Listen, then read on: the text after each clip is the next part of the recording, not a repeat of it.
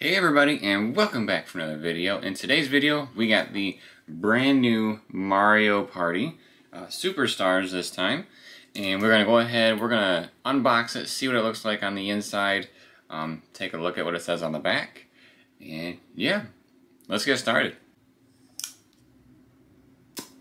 Careful, careful, careful, careful. Alright, so let's take a look at the front here. Uh, I was actually a little surprised on some of the color because uh, and when I was ordering this, it looked like that Mario was a little bit brighter on the cover. Uh, he looks to be a little bit more darker shade, which is uh, kind of a cool touch. Um, I feel like he looks a little more realistic.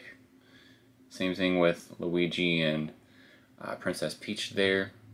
Uh, so if you don't know about this game, it's not like a full full-fledged brand new Mario game. It's kind of like a greatest hits, so to speak. Um, they're taking the best elements in Nintendo's opinion. There's the side of the case.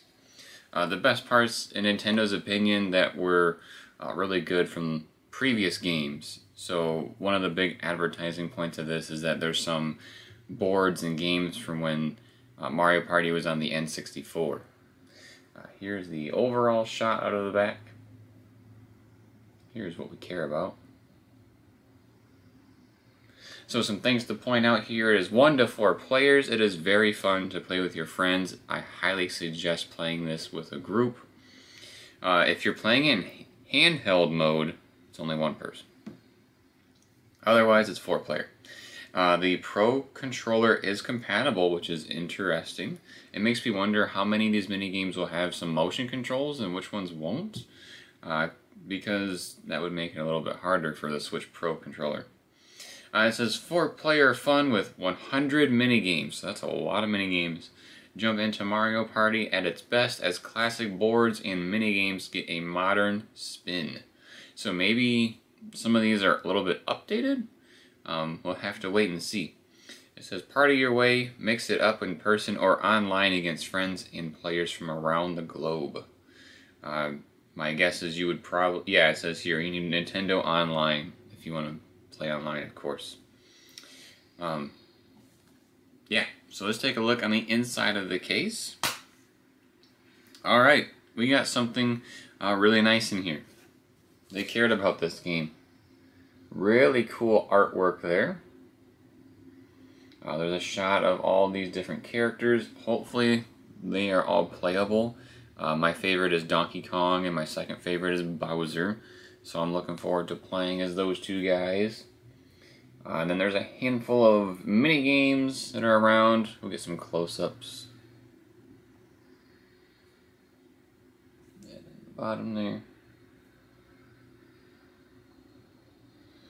And then of course we want to see the cartridge. That's what the cartridge looks like.